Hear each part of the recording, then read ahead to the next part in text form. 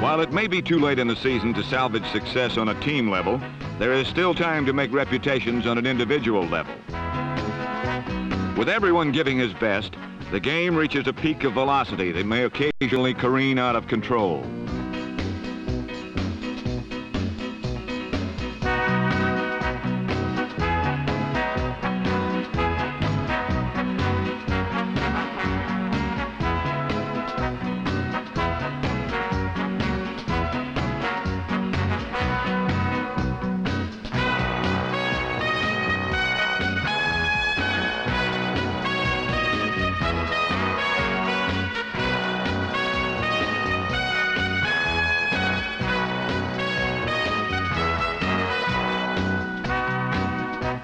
For the New England Patriots, the season has been disappointing at best, but on an individual level, they've uncovered some gems in quarterback Steve Grogan, number 14, and number 44, Don Calhoun, a running back.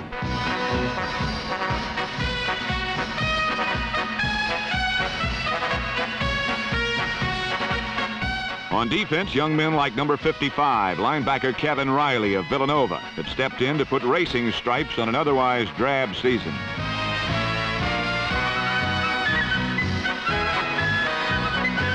Unfortunately, a clipping penalty nullified this play, which has sort of been New England's hard luck story all year.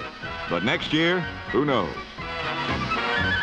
Like the Patriots, the Bears have had their share of bad luck and weird plays this year, mostly self-inflicted.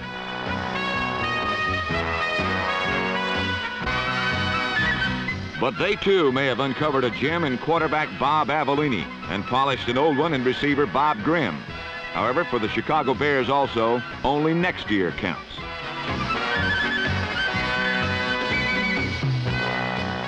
In Dallas last week, the Cowboys made this year count, as you saw earlier in the show.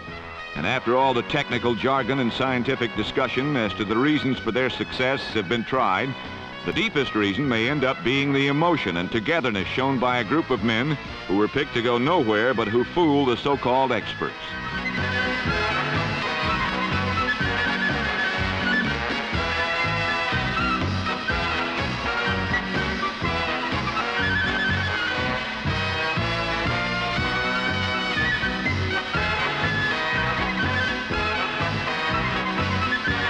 Nevertheless, while emotion can take a team a long way, only talent can go the distance.